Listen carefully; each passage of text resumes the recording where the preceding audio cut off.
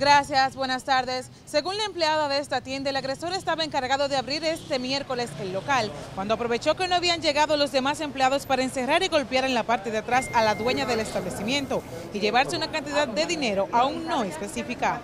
Este informó además que quien acusan de agredir a la dueña de esta tienda desactivó las cámaras de seguridad antes de cometer el hecho, procediendo luego a huir. Es que para abrir la tienda se le entrega la llave a uno de los empleados para que abra y tiene que abrir el almacén también, entonces parece que él aprovechó que no estaba el otro empleado, ni yo tampoco, y se secuestró a la china allá arriba en el almacén. Sí, la golpeó, la maltrató. Asimismo, los trabajadores de esta zona manifestaron que los actos delictivos son frecuentes, pese al patrullaje de las autoridades. Después de las 10 de la noche, hasta los ratones que andan en la calle andan robando, no hay que decirle más nada.